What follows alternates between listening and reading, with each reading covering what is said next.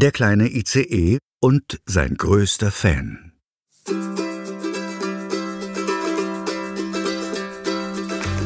Etwas abseits des Hauptschienennetzes, zwischen großen, rauschenden Nadelbäumen und kleinen, raschelnden Büschen, stand ein quietschgelbes Baufahrzeug und legte fleißig Gleisstück an Gleisstück.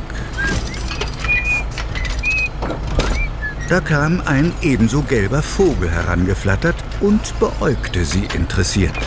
Verzeihen Sie, meine Werteste, aber für einen Vogel pfeifen Sie ziemlich schief. Na, ich bin ja auch kein Vogel, sondern eine Schnellumbaumaschine. Das sind meine Absperrbalken, meine Hinweisschilder, meine Ersatzschienen, meine neuen Schienen, meine Schienen für später und meine Schienen für übermorgen. Chachi, viel zu tun, was? Mehr als ich Hände habe. Ich muss mich etwas sputen, damit die Strecke fertig wird, bevor der kleine ICE hier durchfährt. Aha. Und wer ist das nun wieder? Sag bloß, du kennst den kleinen ICE nicht. Hm, nie gehört. Das ist so ein toller Zug. Er ist wahnsinnig schnell und sehr witzig, liebt zu Kindern und er hat schon so viele Abenteuer erlebt. Mhm. Ida IC interviewt ihn regelmäßig für ihren Podcast. Und von ihm gibt's auch Comics. So, so. Die kenne ich natürlich alle in- und auswendig. Aha.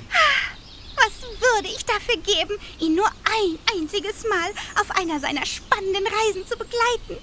Durch Wind und Wetter, durch Berg und Tal, durch Freizeitparks und Gruselschlösser. Ah, träum weiter, Summi.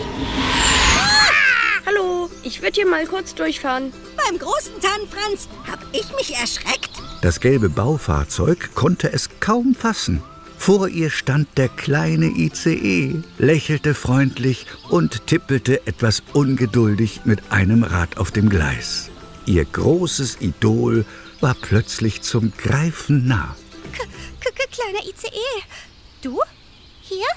Jetzt? Äh, ja, so steht's im Fahrplan. Und du bist? Ich? Wer ich bin? Ich bin dein allergrößter Fan! Und Vorsitzende des internationalen Kleiner ICE Fanclubs. Ich habe alle deine Abenteuer gelesen und gehört. Immer und immer wieder. Oh, äh, cool. Immer und immer wieder. Jetzt, wo du wirklich hier bist, müssen wir unbedingt ein Selfie machen. Das glaubt mir ja sonst keine Bahn. Ich kann's kaum glauben und ich bin live dabei. Hm, Tirelli. Okay, okay, okay. Vielleicht sollte ich mich erstmal vorstellen. Ich bin die Summ. Also eigentlich Simsalasum. Mhm. Summ steht nämlich für Schnellumbaumaschine. Okay. Aber meine Freunde nennen mich nur Summi. Oder einfach Hey, du da! Also, hat mich gefreut, Sumi. Aber, äh, ich muss weg. Also, äh, ich muss weiterfahren. Hm. Du, du musst schon wieder fahren? Ja, ich, äh, muss weiter nach Leipzig. Es war wirklich interessant, dich kennenzulernen. Aber was ist denn mit dem Selfie? Überfordert von Sumis Persönlichkeit suchte der kleine ICE schleunigst das Weite. Dadurch verpasste er allerdings eine wichtige Meldung seines Zielbahnhofs. Hallo Summi, hier spricht Leipzig. Ich habe eine wichtige Meldung für den kleinen ICE. Der ist leider schon weg. Geflüchtet ist er. Hm, sollte ich auch mal. Wir haben gerade eine Unwetterwarnung für seine Strecke reinbekommen.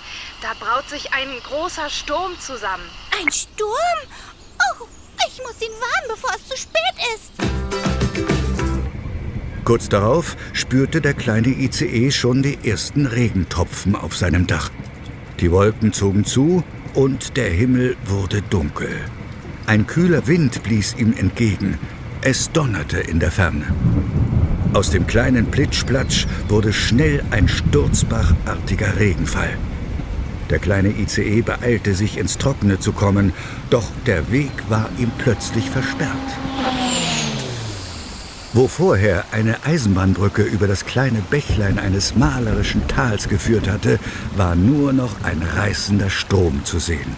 Die Brücke! Sie ist überschwemmt. Da bleibt mir wohl nichts anderes übrig, als umzukehren. Gerade als der kleine ICE rückwärts fahren wollte, grollte wieder Donner. Diesmal direkt über ihm. Wow! Der Blitz schlug in einen Baum ein, sodass dieser in der Mitte entzweibrach. Die Die große, schwere Baumkrone stürzte auf die Gleise und blockierte den Rückweg.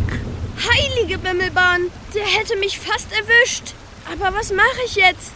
Hinter mir der umgestürzte Baum, vor mir der reißende Fluss. Sieht so aus, als wäre hier erstmal Endstation. Endstation? Uah. So wie in Endstation Klima, als du den Yeti in den Himalaya zurückgebracht hast und die Schienen vereist waren. Oder wie damals, als du das Geheimnis des Schwimmbadungeheuers ganz ohne Schwimmhilfe gelöst hast. Oder damals, als du mit einem Helikopter über dem Urwald abgesprungen bist, um außerirdische Wilddiebe daran zu hindern. Stopp! Das ist doch alles so gar nicht passiert.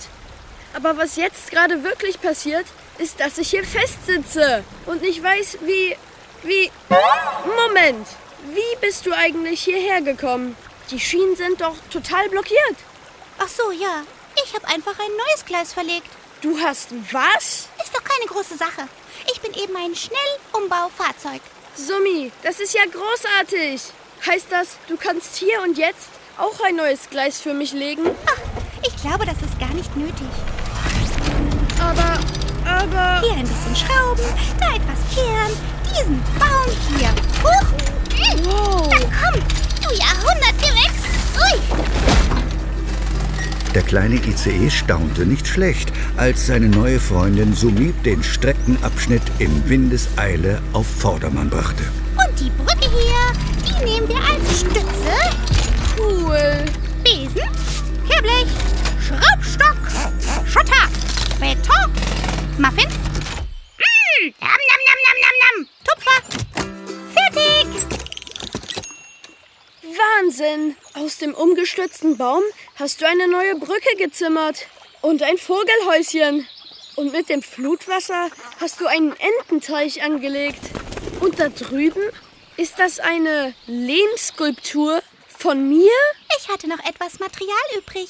Gefällt's dir? Ich liebe es. Und die Schienen sind auch wieder frei.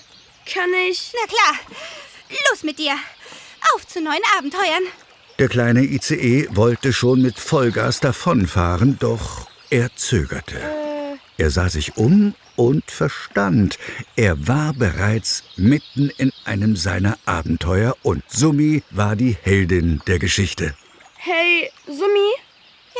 Ich weiß, du hast sehr viel zu tun und brauchst wahrscheinlich eine Verschnaufpause, aber würdest du mich noch ein Stück begleiten? Falls ich spontan in einen Helikopter steigen und in den Urwald fliegen muss, wo es keine Gleise gibt. Was? Aber natürlich. Bleib cool, Sumi. Bleib cool. Du bist doch schon cool. Die Wolken hatten sich verzogen und der Himmel strahlte wieder in schönstem Blau. Und so fuhren die beiden weiter bis nach Leipzig, wo die Bahnmitarbeiterin den kleinen ICE freudig begrüßte. Da bist du ja, kleiner ICE. Als wir von dem Unwetter hörten, hatte ich schon befürchtet, wir müssten die Reisegäste vertrösten. Aber du hast mal wieder den Tag gerettet. Danke, aber diesmal musste ich selbst gerettet werden. Das Lob gebührt allein Summi. Noch nie von ihr gehört. Chip, chip, dann wird's aber Zeit. Wer hätte das gedacht? Seid ihr vor mir angekommen? Dabei bin ich Luftlinie durch den Sturm geflogen. Uah. Ähm, wir können noch nicht losfahren. Was? Aber warum denn nicht? Hat dein Triebwerk Schaden genommen? Nein, nein, alles gut. Liebe Fahrgäste, ich bitte um Ihre Aufmerksamkeit. Bevor wir losfahren können, muss ich Sie als Vorsitzender des weltweit ersten Summi-Fanclubs darum bitten, jetzt alle noch ein Selfie mit der Heldin des Tages zu machen. Simsalasum oder Summi für Ihre Freunde. Was? Aber ich zuerst. Sonst glaubt mir ja keine Bahn, dass das alles wirklich passiert ist. Sag Schiene. Schiene? Und so wurde der weltweit erste Fanclub für Schnellumbau-Fahrzeuge gegründet. Aber das war erst der Anfang. Der kleine ICE und seine neue Freundin Simsalasum, pardon, Summi, würden danach noch viele weitere Abenteuer erleben.